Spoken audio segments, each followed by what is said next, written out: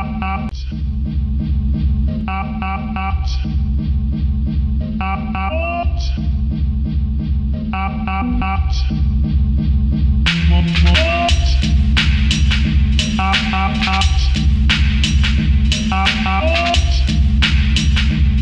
up, up.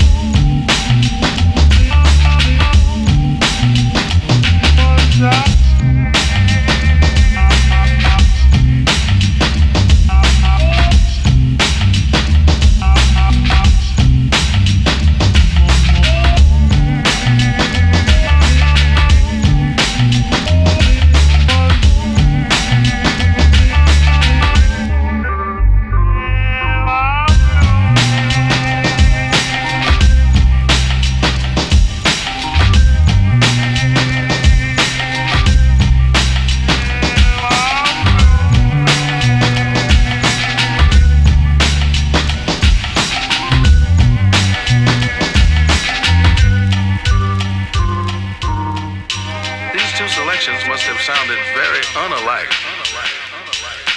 And of course, in many ways, they are very different from each other. But in two ways, those two different pieces of music are really very similar.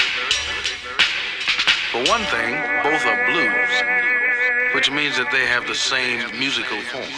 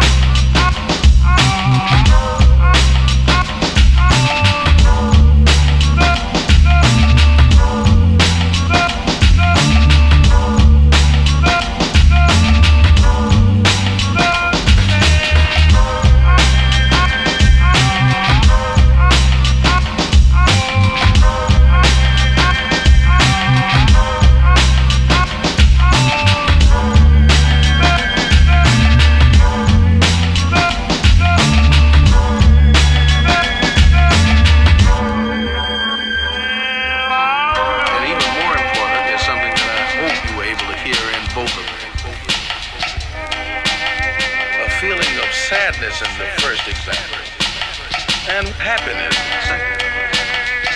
For one of the most important things that almost all music is concerned with, and for that matter, almost all stories and paintings, is the way people feel about things.